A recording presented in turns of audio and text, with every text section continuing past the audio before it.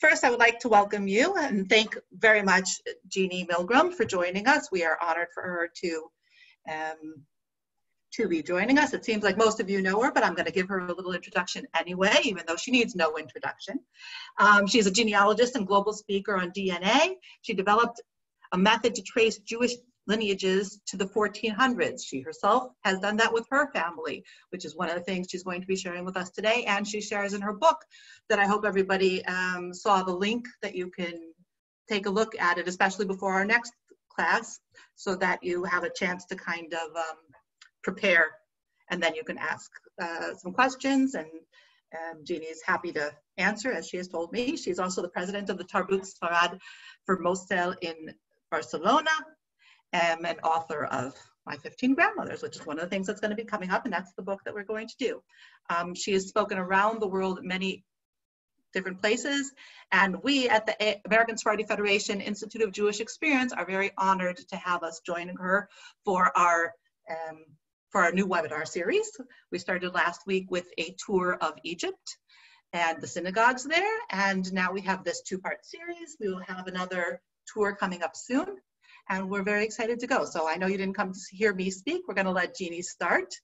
Um, please, anybody, a few different just technical issues. If you have questions, if you can please put them in the chats. Um, there are two of us here reviewing the questions, and after um, about three quarters of the way through, we'll let Genie know which questions have come up. Obviously, we can't answer all of them today, um, but we'll try to pick a few that kind of um, exemplify what you have been asking. And some of them we'll save for next week. I hope you all come back and join us next week, so keep in mind. And gather your questions for next week as well, so that even if you don't get to post it today, send me an email, um, and I will post my email at the end, and we will make sure that Genie gets the questions and we can continue with it. The other thing is, please, if you have any questions, uh, sorry, please, if uh, please do not record it. That was my thing. Um, so we have people from, as we saw, most of the Western Hemisphere, so that's kind of nice. And um, we're excited to start this. Let's see how this goes. So welcome everybody and welcome Genie and thank you and let's go. Take it away. Hi, it's great to be here today. I know some of you are, it's nighttime already, but uh, I'm in Miami, so it's noon and it's a great time to do this. Um, as most of you know, I was successful in finding my own Jewish roots, going ex exclusively through the Catholic and Inquisition records. It's a lot of material to cover.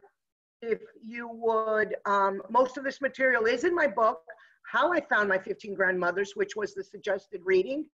So um, a lot of you, some of this may be passing uh, information that you've already done. Uh, but basically, I, I encourage you to, to focus on perhaps what you haven't done yet. When I did mine, uh, there was no path open to be able to do this. I kind of had to learn along the way, and I finally found a method that has worked not only for me, but for others. So there's a lot of material, hunker down, and we'll get through it.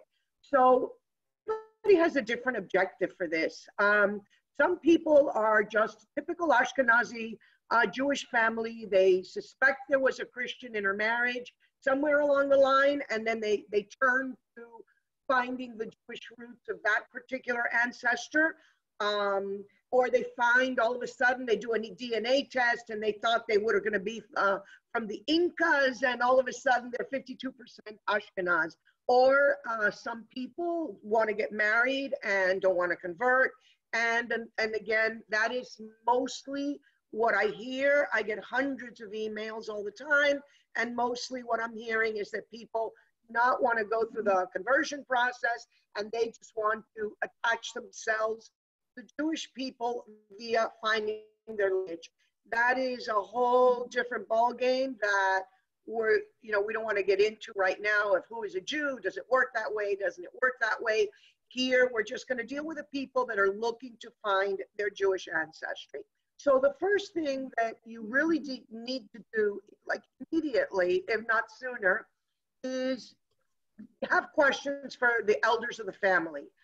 do not put this off. And especially now that in these times that we see how very fragile we are as a people, it's time to sit down with your elders. I know a lot of them may have Alzheimer's, but through the Alzheimer's and through the dementia and through the illness or whatever the correct word is, there's still some key questions. And it's important that you record everything because, and if you mm-hmm. can't record it, that you just take copious notes because something that may not be important today will be important later. So, were there are a lot of cousin intermarriages? Did the family have unusual rituals or customs? So people will say, yeah, we used to change the beds on Friday. But you might think, okay, so you have to change the beds one day a week. So what's the big deal? You change them on Fridays, and that might not seem like a big deal, but that's a huge deal because a lot of the people in the Inquisition, and believe me, these customs were passed down to me from the Inquisition. I read the Inquisition documents of my family, and people were killed for changing the beds on Friday. So even though it seems silly, you have to focus on everything that someone is telling you, whether special cooking or kitchen customs. In my case, my family always taught me, my grandmothers, to check for blood in the eggs. Now, maybe other people check for blood in the eggs. I'm not saying that that was just me, but basically that was a big giveaway. They were um, checking the vegetables also, uh, looking for bugs, which is something that we do. So you have to ask everything. What type of work the family was in? And this is important. My family was always in haberdashery and they were um, in uh, cloth. So that was on my maternal side, that was the Jewish side. Never were they anything except back in the 1400s, except in ribbon cloth and this type of thing. Um, did they own shops or businesses? If they did, try to get the names. You can always research the names later. Was the family religious? Did they go to church on Sunday? This is important. For example, my sister and I, who went to Catholic school all of our lives from from you know kindergarten through me in my case college they would drop us off at church on sundays and we thought it was normal but we would look around and everyone was with the parents and the grandparents and there we were by our with no family being dropped off to church with us so that's very important was the family religious um, did anyone ever light candles on a Friday night or maybe once a year? Because we light candles once a year um, in different holidays to commemorate our dead uh, that have gone before us. Or did they prepare a special meal on Friday nights or Saturday for lunch? All of these questions, and I'm sure that you can think of a lot more because there is a lot of material to cover, but these are just some of the way to get you started.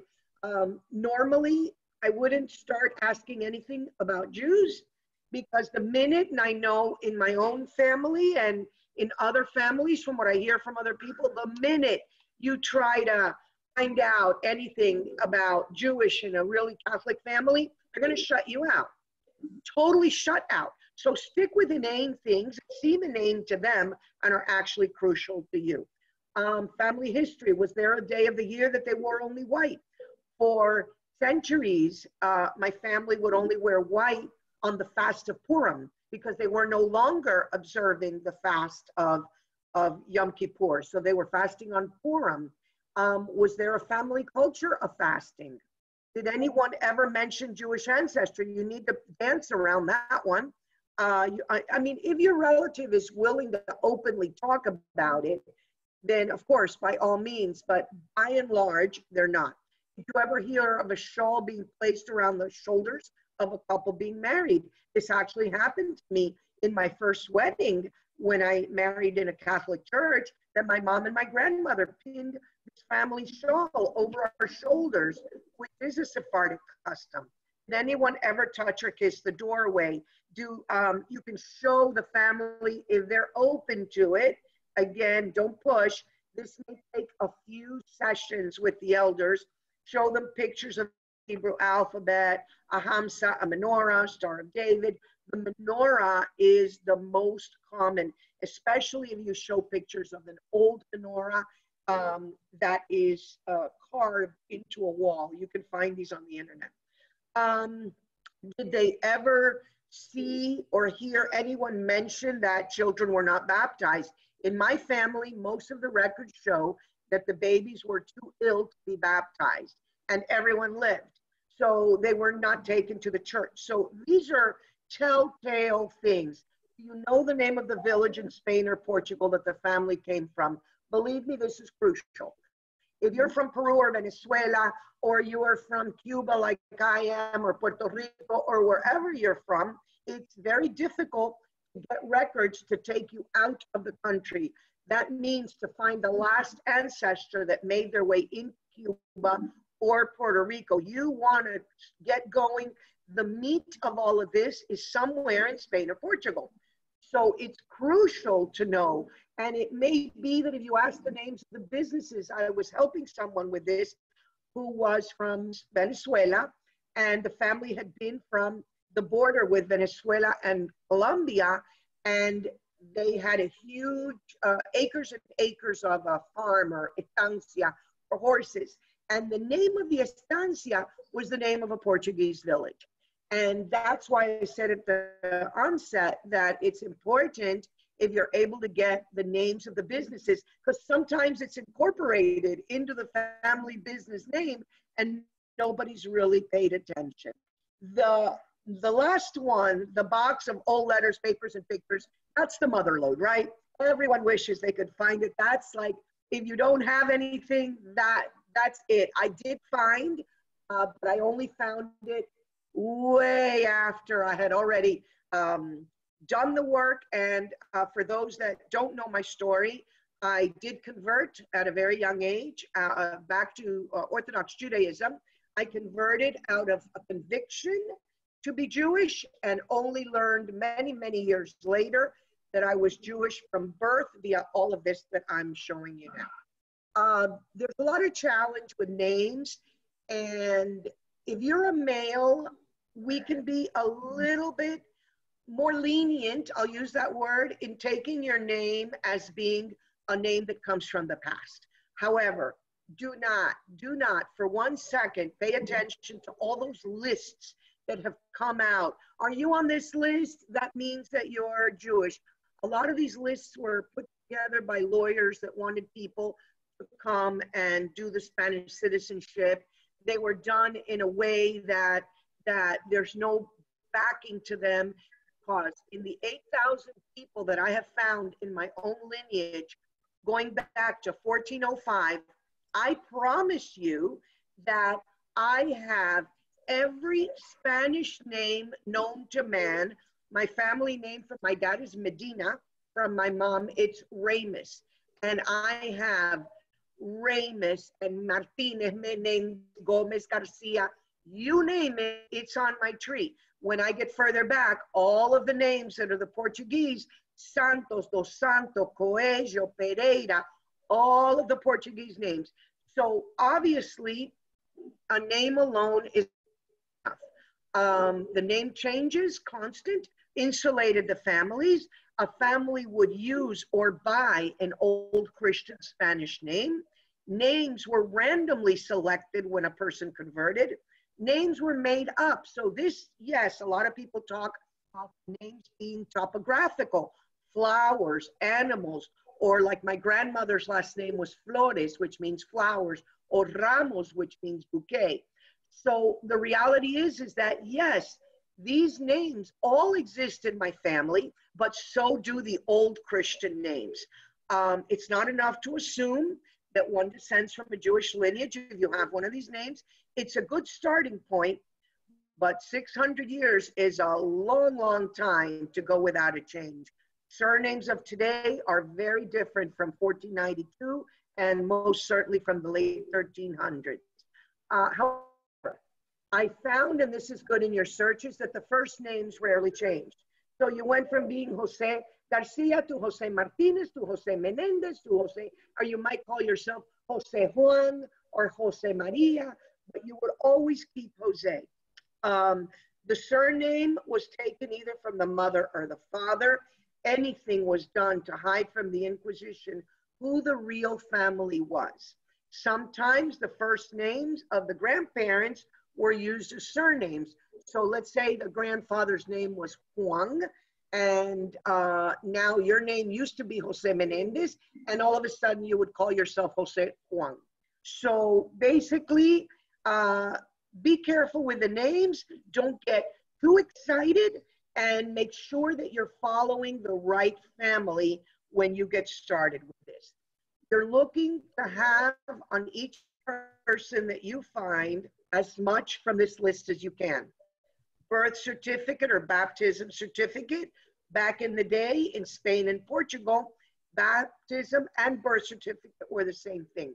A marriage certificate, a death certificate, notary records. Notary records are super important and easier to find if the church, everybody tells me church burned down. Well, that's just like it is here in the States.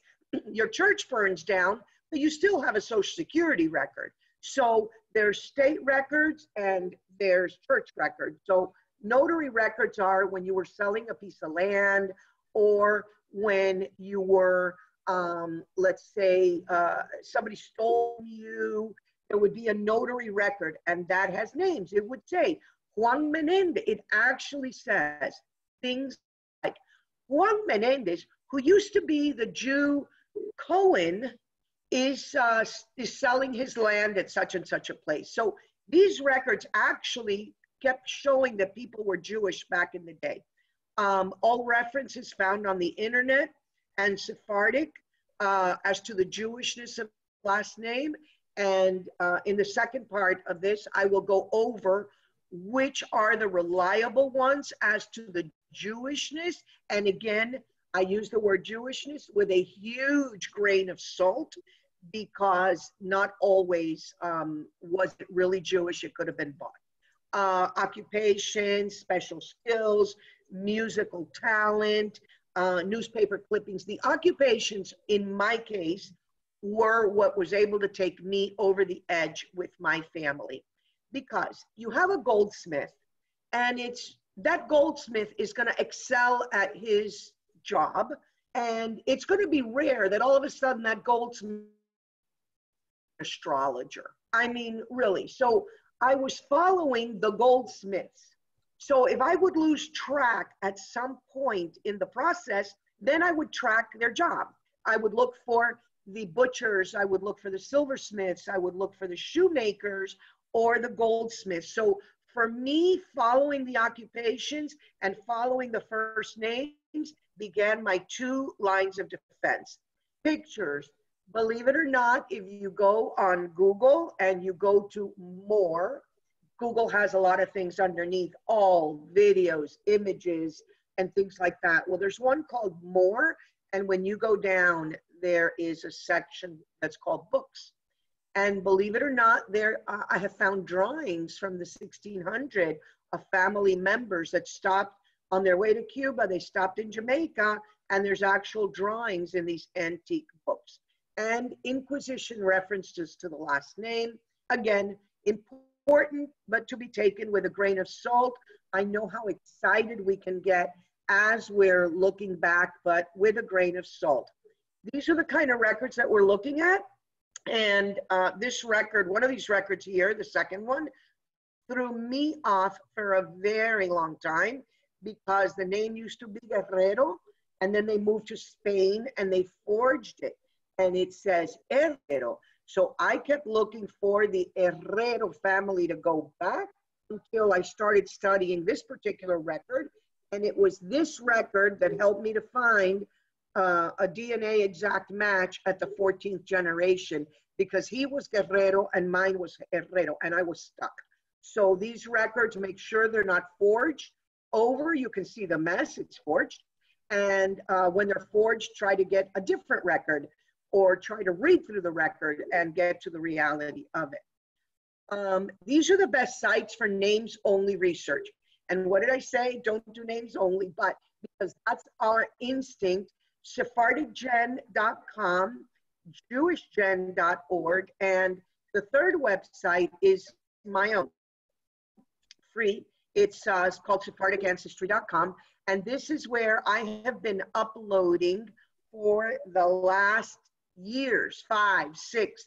I have been uploading only first um, with with with first uh, records, meaning they are like they can't get any better. Directly from Inquisition files, I have been uploading names for the Inquisition of Lima, Peru, the Inquisition of Colón in Chile. I have been uploading the names once they went to Amsterdam, and everything has its primary source. I only work with primary source. I stay away from websites um, that people are putting up trees and other people are changing them. Um, for us, that doesn't work. It's great for other kinds of genealogy, but not for ours. We are literally trying to come back or to find. And I don't know about everyone else, but I'm not in this fairy tales. I want to know the truth. If I have the ancestry, great, that's what I'm looking for. But if I don't have it, I don't want to just make it up. So basically, in Sephardic ancestry, you can check all the marriages in Amsterdam in 14, uh, 1596. It will tell you where they came from in Portugal and Spain and where they moved on from there. This print screen was um, Sephardim.com was a very reliable uh, website and the gentleman uh, Stein, he died a couple of years ago. Sephardic Gen took it up. And why is this so important? Because it gives you, and you can find this under other databases on Sephardic Gen. This print screen, as you can see, each name has a series of initials and letters behind it. And it will say it was used in the Inquisition of Toledo. It was used uh, in the Inquisition of the Canary Islands. And it was used as a Jewish name because there was a Jewish butcher. In other words, if your name is on here and it says it was you, and you've hit a brick wall, and it says it was used in the Inquisition of Toledo or here or there or elsewhere, you will be able to have a new path from your brick wall on how to search. So this is a crucial um, what database, and I'm very happy that uh, Jeff Malka at Sephardic Gen uh, he did take this on and he moved very quickly when this gentleman died and the wife agreed to share this with everyone. It's a lifetime work. Um, this is my website that contains many, many, many tables with actual names from the Inquisition file. And I continuously upload. I'm still working a lot on the Canary Islands, and um, but you can find a wealth of information on this website. Um, there's a screen uh, here of the biographies that are used for the names that you find. So it's very interesting because then you can read, not biographies, I'm sorry, bibliographies, then you can read these bibliographies and find things that you may otherwise not be able to find. Um, internet searches, you have to cover all angles. You absolutely must uh, find historical Jewish context of the name and you have to do these in all languages. Ramos being the name of my grandfather, I would search Ramos Judío Converso, Nombre Judío, Converso Jew, Jewish name, Spanish Inquisition, and then I would go into other languages. Ramos Heraldry, I would go Ramos Nom Juif to get it in French, eh, Nom Judaico Ramos. I would try to do it because Maybe you think it was from Spain or Portugal, but maybe it was from Italy. And I know that I'm covering a lot of material and I'm covering it extremely fast. But basically, you can go back and see on the Facebook Live. You can go back and see this. You just have to look. For example, we no longer use the word Marrano because it's very, very insulting to people like me. Some of the returnees or converso descendants, crypto Jews, not mind the word Marrano, but, but I do. For example, it is a name that means pig, that other Jews were calling the converted Jews when they were really Catholic. So I, however, it's a real word and there are uh, important informations to find with it. You have to look for forums on specific names. Foro, apellido Ramos, Foro, apellido Menendez. Do it in Spanish, do it in English. There's people that are out there looking for the names. And by the way, Google changes constantly, meaning if you looked yesterday and I add something new today, you won't see me. You have to check constantly for books, for things. People upload ancient books. I do buy a lot of books uh, that are antique books that are out of print. My library, uh, my physical library is very large. I have over 400 volumes of uh, places where names could be found and not just names, names attached to the Inquisition. Every single little village in Portugal has printed such a book and they've been given money to do so. I have these books and these books, if you ever want me to look up a specific name from a specific town or a nearby town, I'm always very open to doing this. I do not do genealogy work for anyone. What I do is I help you find your path and I help you go in a direction that you can that you can go. If I feel that you can continue on your own, then I will tell you how to continue on your own. If I feel that you have reached a place where you need to hire a professional, I will tell you that also. And I really only rely on maybe three people in the world um, that I'm comfortable with on really giving you the correct information. I have one in Spain, I have one in Portugal, and I have one in Cuba. Outside of that, I don't really uh, have anything. Um, a lot of people ask me, what about Honduras? What about this? What I can tell you is that if you are in Central America and upper South America, Colombia, eh, Venezuela, um, and, and I think that that would be about it. You should be checking very thoroughly into the Mexican Inquisition.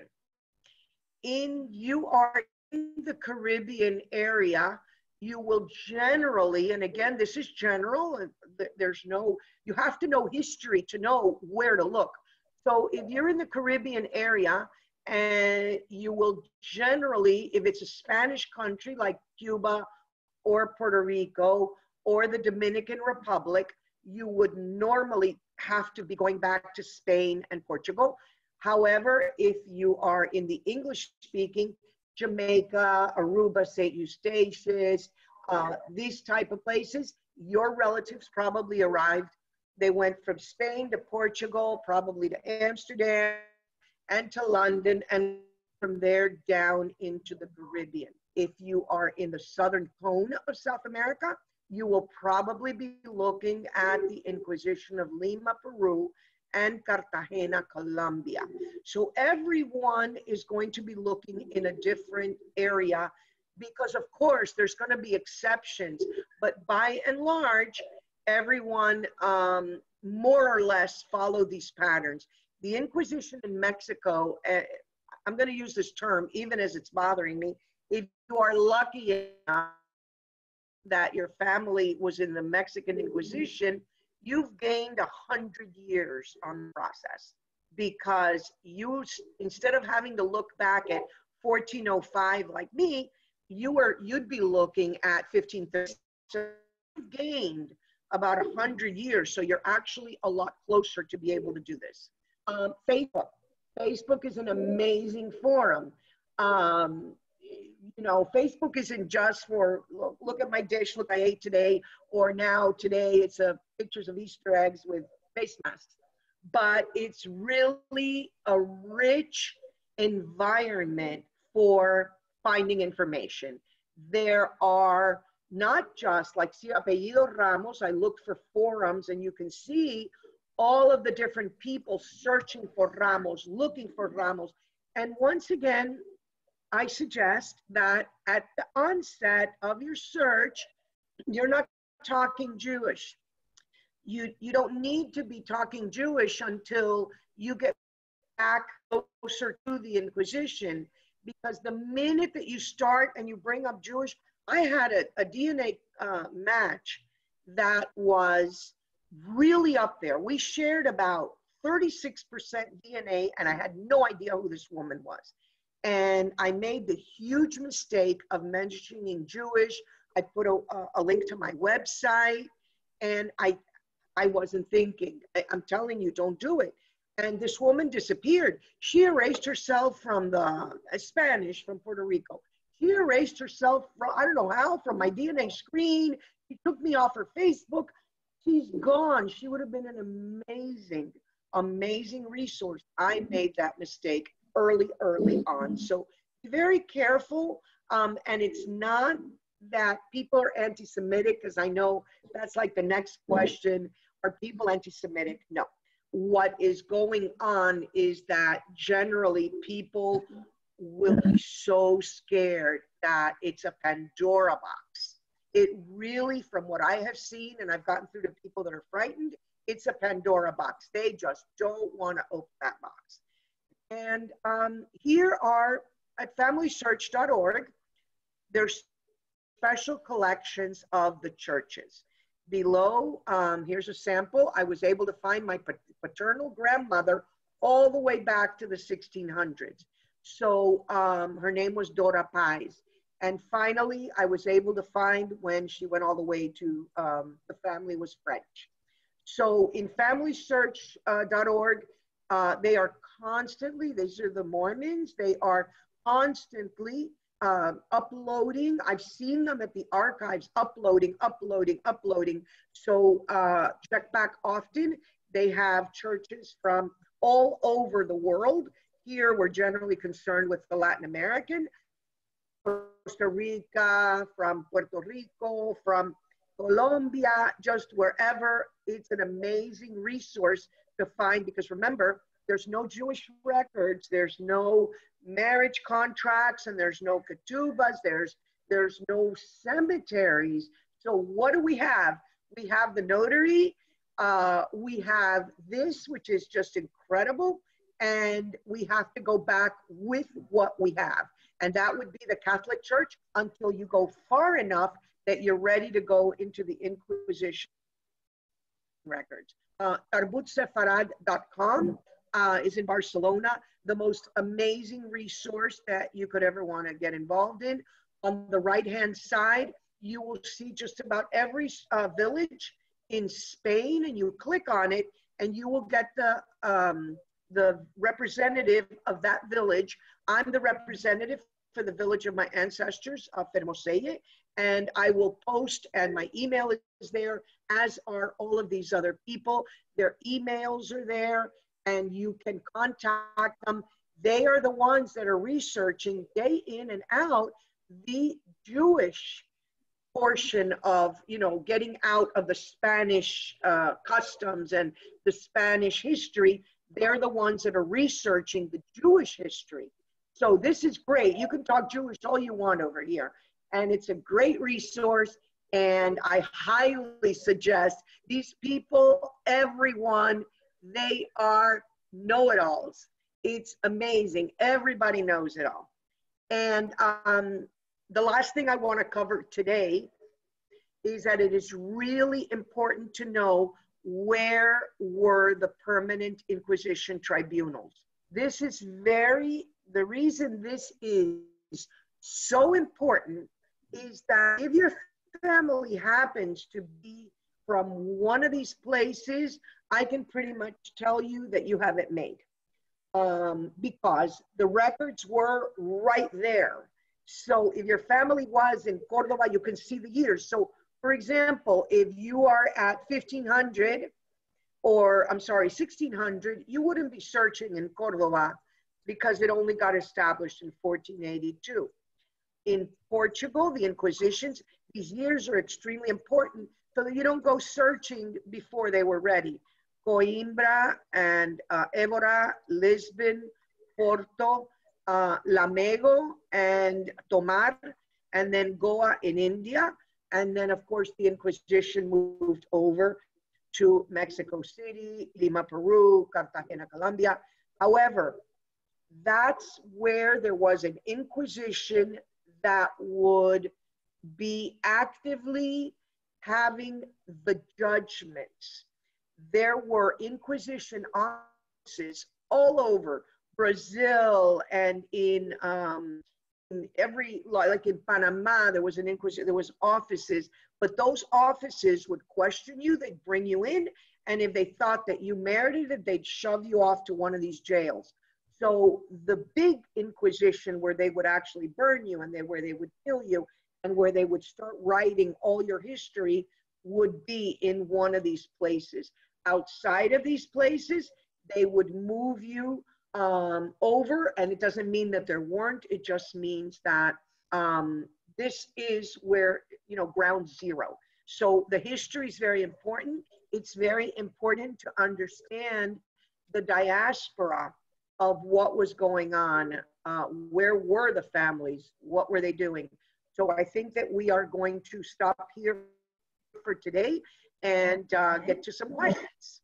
Great. So, so one I'm of the main. Breathe. I'm going to breathe for like a minute. Yes. Take a drink. Everybody will let you. Um, just anyway, in the meantime, if you did not type in your question, I know somebody raised their hand, so if you could please type in your question because um, we can't open up the microphone when you have this many people. It's just um, easier this way. Um, so the, the biggest question that's been coming up is about the websites that you've been posting. And I know that you've been putting them here. I don't know if you will allow them to uh, get the slides of them, others uh, that may be available. That's one of the big questions. I know that's a simple question, but. Okay, yes, if you uh, would like uh, to receive, this information is in my book, How I Found My 15 Grandmothers. That book is available on Kindle. It's practically mirroring this along with other questions. It's in English and Spanish, and uh, I, I, it would be good if you could pick it up. It's available in, in paperback or on Kindle for $4.99. So all of this is available, and in English, how I found my 15 grandmothers, and in Spanish, como encontré a, mi, a mis 15 abuelas, and both languages are in the same book.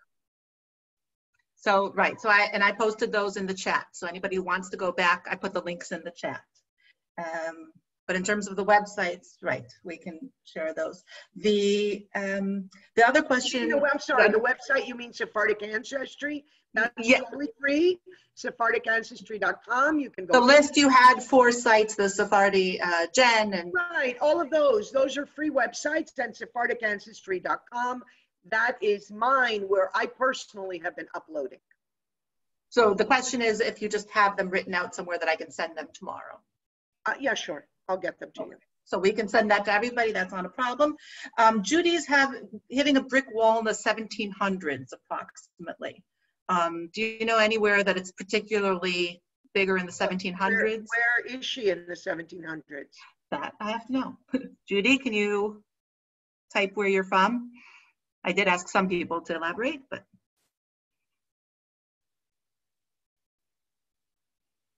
I know that there are a few people posting here specific names um, and tracing them. And it, like you said, the easiest way would be to start with those names on the Puerto website. Rico. Puerto Rico, Puerto Rico has its set of challenges. However, there are Puerto Rican specialists in the world. There's one in Israel, and um, it's it's very important that in Puerto Rico, uh, if you want, contact me later.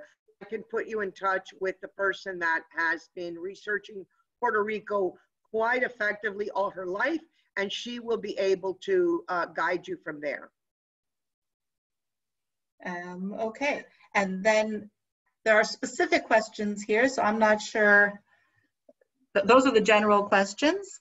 Um, a lot of them are about names, so if you want to just make, make mention of the difficulty in approaching you about a specific name and where to possibly right, start. Right. I talked a little bit about the names. You know, names are very difficult. You found your name on a list on the website, on a website, and it says, you know, are you Sephardic? Look at these 8,000 names. And the reality, and there's books even written like that. If there is no historical attachment to it, um, it, it's very difficult uh, you really have to do, I, I hate to say it because I would have hated hearing me when I was doing this. You really have to do the work. And a lot of people say, but how do you start? How do you start? I'll tell you how you start. You start by writing your name on a piece of paper. Then you write the names of your parents. Then you write whatever grandparents you know. And I'm here to tell you that you will find so much more than you think you know. But if you don't write your name on a piece of paper and write the names of your parents, you probably aren't going to get anywhere. You're going to have to do this. I did this for years on a big, um, you know, one of those big sheets of, of lined graph paper, and I would put the names on post-it notes. Pink post-it notes for the women, and blue post-it notes for the men, and yellow if I was unsure. And then um, I would be changing them because as time went on and I got real information, I was wrong. So I held, I had this huge thing on my table for years where I was just moving them until I was sure and then I would input it. But that's the way to start. Put down the first name on paper. Okay, and Curtis is asking if you know of any um, continuation into Belarus. He has DNA matches in Belarus. If you've heard of any Spanish group and a possibility Sephardic? of how to research Sephardic. Sephardic. Right.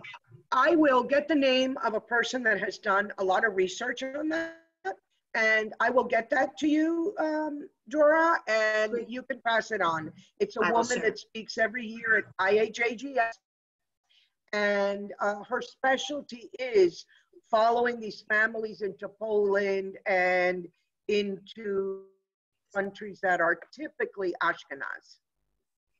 Excellent. So Curtis, I hope you heard that and I will follow up with you on that.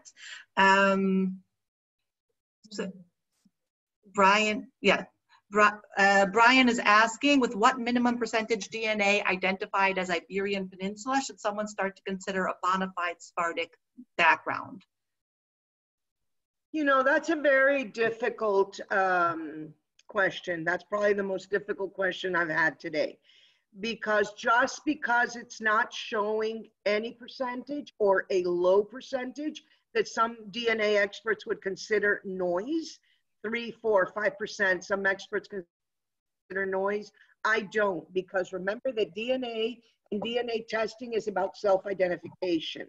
So if you have a lot of people from Morocco that used to be Sephardic Jews and they are not self-identifying as Jews, when your I, I, when your DNA comes out, it's going to show a high incidence of North Africa, Morocco, and it's not going to show uh, because they didn't self-identify as Jews. That's still one of the the let's say problems uh, or challenges that we have with DNA testing today.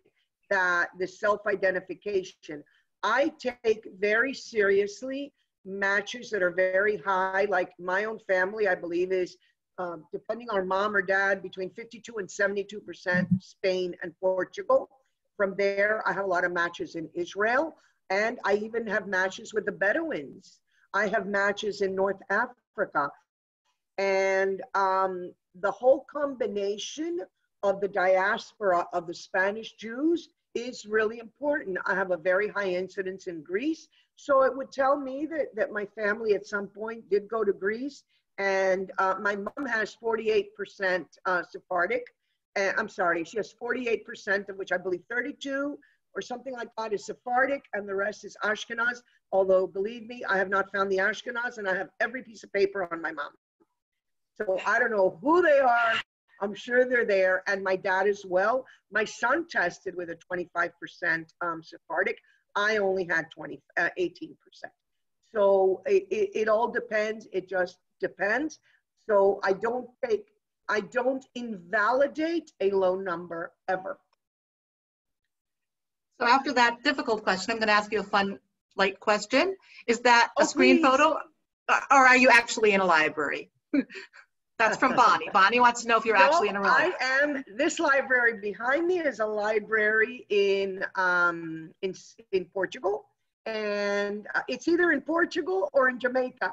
I have to look at it closer. I am not in library. I am sitting in a room and I didn't want you to see my cats walking back and forth. So yes, it was either this or downtown Taipei. Um, so we have a few questions. Actually, Joe asked if you have any information on Palamos near Girona. Um, any Jews from Palamos, if you've heard of them? No, actually, Joe, I haven't. Um, do you have family from there? I'll wait for him to answer.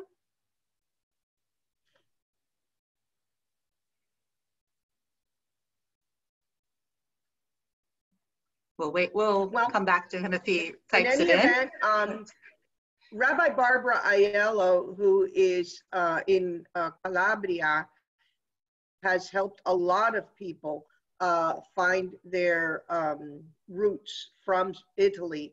I do not have these Italian roots, so basically I, I have done personally very little research, but I know that Rabbi Barbara has, and I can put Joe, I can put you in touch with her if I haven't already at some point. Okay, well, Joan also had a question about the Spanish Jews who came from Italy. So if you have someone who, No, oh, sorry, who who, came from Spain to Italy, my apologies. right, who, who went to Italy. Although you have to realize that Italy had its own uh, group. In other words, um, we cannot assume the Italian Jews were coming from Spain. Italian Jews were like in place. Uh, they were there for a very long time. So some did go, but mostly what happened is that they would go uh, after the expulsion they would go to uh, the Ottoman Empire, Salonika, they would go, and then they would go to Italy. So it was kind of a roundabout way. I uh, don't believe they went direct for the most part. And a lot of them did go to France, though. France and that whole uh, Bordeaux area, that's very telling with the Spanish Jews. Right, so she, she was actually asking about Livorno, which does have a fairly large uh, Right, exactly. Spanish, but um, you're, you're right. Actually, one of the clips we just did on the Institute is about the Roman community that's been there since the temple times. So um, Exactly. Italy has very old communities. And I didn't watch, and I didn't, and I didn't watch the clip. Uh, well, see, now you should go back and watch it. Um, okay, another question. Uh, what testing companies will be more helpful? Do you have a specific one? She, this person said she tested with both FTDNA um, and mtDNA and Ancestry. Uh, thus far, all the matches are from Puerto Rico, but is there a better testing company or does it make a difference? Have you found one more than the other? Well, I, I think that Ancestry and 23andMe are not too helpful for this. Um, they are more dedicated. Remember that you're, you're looking at the pool that's testing. So if they, the people that are testing are all from Central America, for example, then you'd be hard pressed to find an Israeli that tested over there that you're going to match. I, if you tested with, um, with Family Tree DNA and you did the Family Finder test with Family Tree, Mhm. I suggest that you upload those results to MyHeritage my heritage in Israel um, has been, uh, is incredible in that they have been able to isolate seven diff- uh, five different types of Jews. Um, heritage, the Mizrahi, the Ethiopian, the Sephardic, uh, Ashkenaz, and the Yemenite Jews. So it's a lot easier uh, via uh, MyHeritage in Israel. Okay, and unfortunately, uh, another question is typed in Spanish and I don't speak Spanish. So Marisol, if you want to type the question in English, or I don't know if you Or can she can it, ask me if you can unmute her. Right, to unmute one person in this, we can try. But I think it's easier if she just types it in English, or you can open up the questions and answers on the bottom of the screen. Yeah, I have, there's a lot of people here, so I don't know. No, just go to the bottom. She's the bottom one. Let me see. Um, no, I, I don't see it. Okay. So we'll do that. Hopefully she'll send it to us next time. And, okay. Well, those are the questions. Oops, did we lose? I don't see her. Are you still there, Genie? Nope. We lost Genie. Well, then I'm going to tell everybody, thank you very, very much for coming. Um, I'm going to say thank you very, very much for coming, for joining the American Sephardi Federation Institute of Jewish Experience webinar. I hope that you do take a look at the book and you. I lost you, but here I am on my phone. Oh, phone. good. I was just saying thank you to everybody for coming. So uh, No, you will notice that on my phone, I am not in a library. Okay. beautiful flowers. Well, we're gonna. Um, oh wait, there were two more. Maybe Marisol rewrote. I'm just gonna check. Uh, let me see. Um, I don't see Marisol, but Marisol, you can write me in Spanish at uh, via my um, on my website geniemilgrom.com, and you can write me there. I, I will get your question. Y me puedes escribir en español, en cualquier idioma que quieres, y yo te puedo contestar desde ahí. Um, okay, and we will definitely answer some of these questions next time as well. I'm going to put my um, I'm going to put my email address at, in the chat so that everybody can take a look and email me with any questions for next time or for um, in general. I will also, if I forget to send you the information, I will follow up with um, Genie. Also, um, I also, Tiago, I'm sorry to interrupt you, Dora. I, I think it would be fantastic if your homework for the next week is to write your name on a piece of paper and just see how much you know. Because you probably know more than you think you know. And it's really important. Um, this is not your typical genealogy sort of search. When you're doing this, you are gathering a lot of history and you're gathering evidence, you're gathering circumstantial evidence. So you should uh, theoretically, like I did, I have a folder on each of my 22 grandmothers. I didn't bother with the men.